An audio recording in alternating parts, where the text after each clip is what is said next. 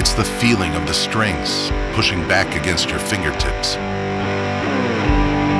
It's the way it sits against your stomach as if channeling emotions straight from your gut.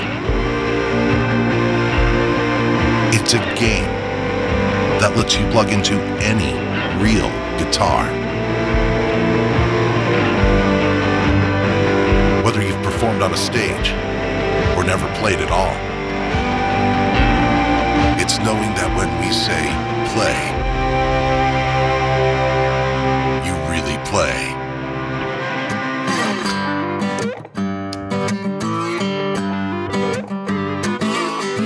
Rocksmith.